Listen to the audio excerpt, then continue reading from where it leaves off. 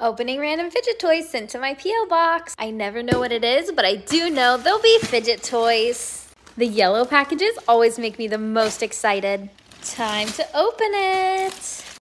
Okay, this is super strange. What is all of this?